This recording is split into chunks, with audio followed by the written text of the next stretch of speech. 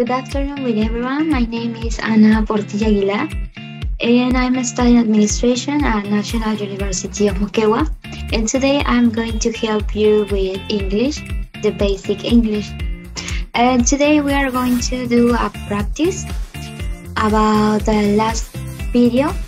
Uh, we are going to make some questions in present simple and then um, we are going to learn how to use the do or does. Okay, okay, let's start. Today we are going we are going to talk about free time. In this case, how I said, um, we are going to use the cue to write questions. For example, in the number one, we have um, go to the movies uh, Saturday. And remember that in a question or to write a question, it's important to know um, the, the grammar, for example. Um, first, we use the auxiliary, do or does, plus the subject, plus verb, plus complement. It's important to follow uh, this order.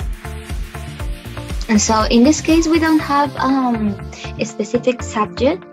So we can say, do you go to the movies on Saturday?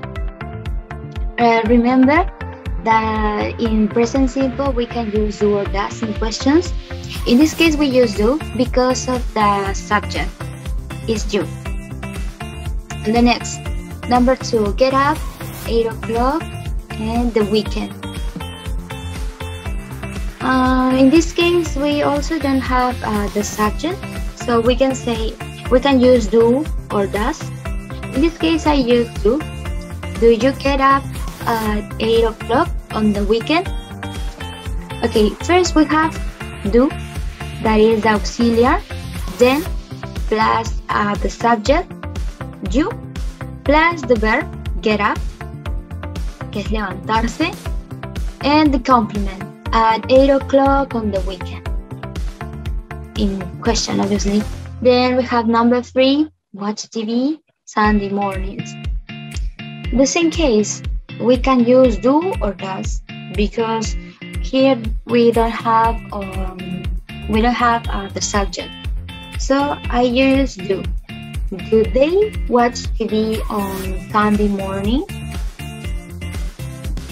First, here we have um, the same auxiliary do, but the subject change.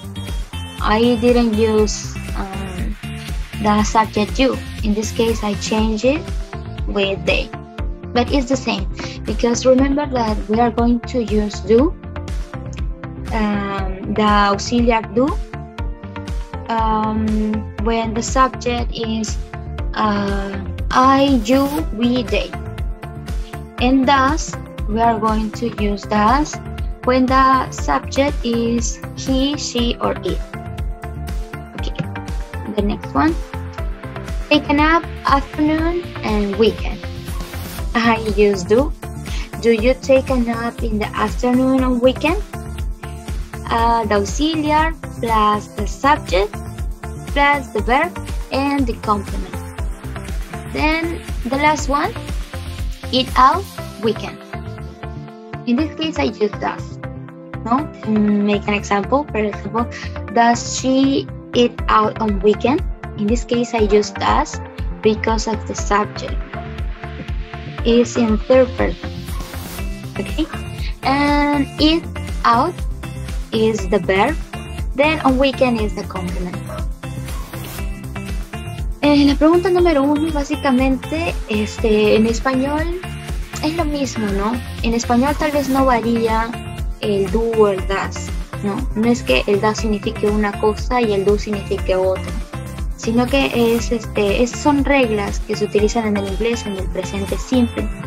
En este caso, en la primera pregunta nos dice, este, ¿tú vas a ver películas este, los sábados? Do you go to the movies on Saturday? ¿No? Una pregunta. Do you get up at 8 o'clock on the weekend? ¿Te despiertas a las 8 en punto los fines de semana? Este, ellos miran la televisión los domingos por la mañana. La siguiente, do you take a nap in the afternoon or weekend. Tomas un descanso, tú tomas un descanso este, en la tarde los fines de semana. Y la última, does she eat out on weekend? Ella este, sale a comer los fines de semana. Eso básicamente son las preguntas. Y esto es la parte de otros usos que también se le dan al do or does. Word focus. Number one, Anna goes to the movies on Saturday, and so does Sebastian. We use uh, so, so does, or so do to connect two affirmative sentences. In this case, uh, Anna goes to the movie and Sebastian makes the same action. ¿No? En español quiere decir que utilizamos el so does o so do cuando queremos conectar dos oraciones afirmativas. ¿No? En este primer caso estamos diciendo que Ana va a ver películas los sábados. De la misma manera, este, Sebastián, ¿no? O también Sebastián. En vez de estar repitiendo toda la oración, solo ponemos and so does Sebastian. El does, recuerde que es para tercera persona, cuando tenemos he, she or it. En este caso estamos hablando de un chico, que es he, por eso utilizamos does. Um, then is in negative. Anna goes to the movies on Saturday, but Sebastian doesn't. Doesn't, in negative. En este caso, Ana va a, ver las películas los sábados, pero Sebastián no, ¿no? En este caso no estamos otra vez repitiendo todo de nuevo, sino que simplemente lo reducimos en doesn't, ¿no? Como que él no lo hace o él no. And then we have Anna doesn't go to the movies on Saturday, but Sebastian does. And it's important to know that we are using but when the sentences are different. Como pueden darse cuenta en este, primer, en este segundo caso, este es diferente, ya no ambas son hasta afirmativas, sino que la primera es afirmativa y la segunda es negativa, entonces utilizamos but, like a contraction. Then in the third one is the same. Anna doesn't go to the movies, but Sebastian does. Negative with affirmative. Anna doesn't go to the movies on Saturday, and neither does Sebastian. In this case, uh, we use neither do or does to connect two negative sentences. In this case, Anna doesn't go to the movies. Negative. And neither does Sebastian. Esto quiere decir que Ana no va a ver películas los sábados, tampoco Sebastián o ni Sebastián, ¿no?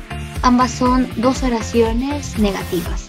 Y utilizamos el conector neither. Neither does or neither do.